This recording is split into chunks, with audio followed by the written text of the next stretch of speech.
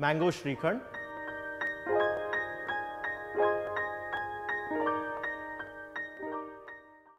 hello friends welcome to Sanjeev Kapoor Khazana मैं हूँ सौरभ।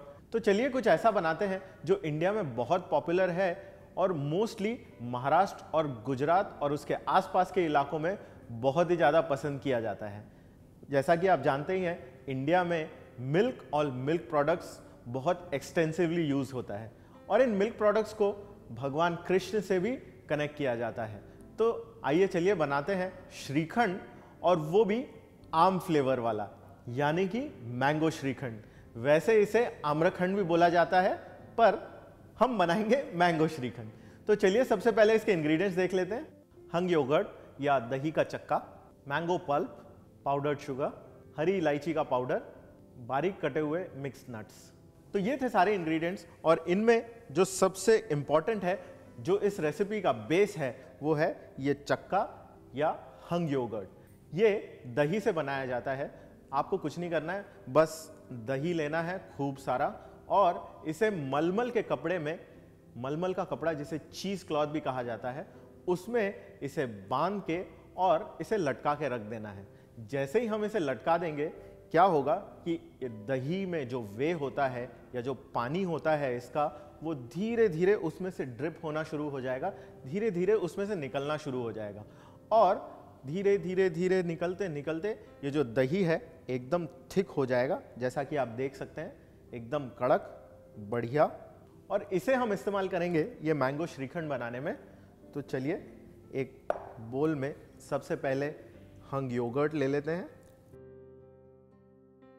और इस चक्के में या इस हंग योगर्ट में हम पाउडर्ड शुगर डालेंगे और पाउडर्ड शुगर डालते समय हमें एक चीज़ ध्यान रखनी है, इसे हम एक स्ट्रेनर के थ्रू पास करेंगे और फिर इसमें ऐड करेंगे।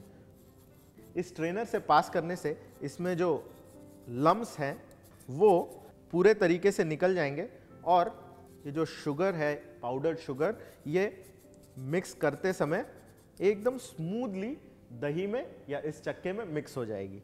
चलिए शुगर तो हमने डाल लिया। अब साथ ही साथ इसमें डाल देंगे इलायची का पाउडर हरी इलायची का पाउडर और ग्रीन कार्डमम पाउडर के साथ ही साथ हम इसमें ये नट्स डालेंगे। और अब final ingredient king of all ingredients mango pulp of mango मैं यहाँ पर अल्फोंजो मैंगो यानी हापूस का पल्प इस्तेमाल कर रहा हूँ। आप वैसे तो कोई भी पल्प इस्तेमाल कर सकते हैं, लेकिन हाँ ये ध्यान रहे कि हर आम का अपना एक पिक्यूलियर टेस्ट होता है और ये टेस्ट पूरे दुनिया में बहुत पसंद किया जाता है।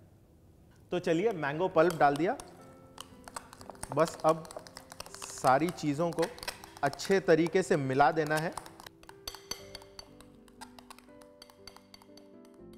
इन सारी चीज़ों को मिक्स करने के बाद इसे हम और अच्छे तरीके से मिक्स करने के लिए विस्क का इस्तेमाल कर लेंगे।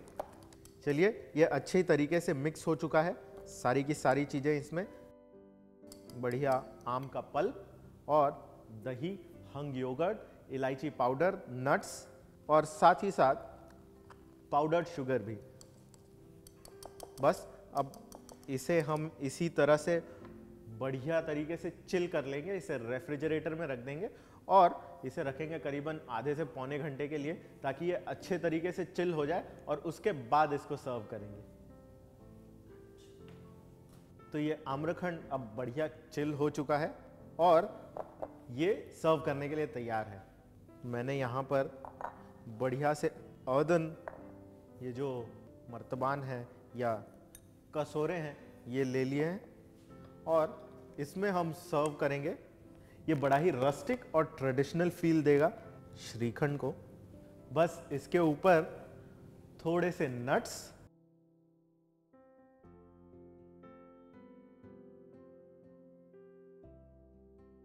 और ये मैंगो श्रीखंड तैयार है डेजर्ट की तरह खाने के लिए या पूड़ी के साथ मेन कोर्स की तरह खाने के लिए।